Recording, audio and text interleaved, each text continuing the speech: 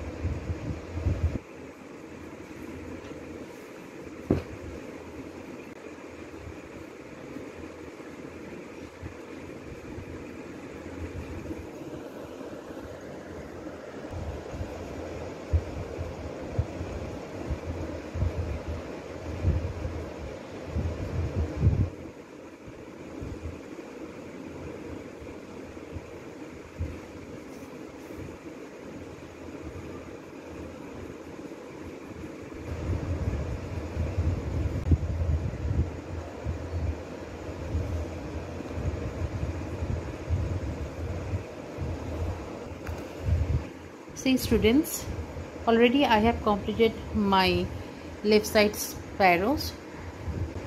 Hope you all have understood how I have draw it and shaded it. Student you please complete the both sparrow at your home. Okay? Thank you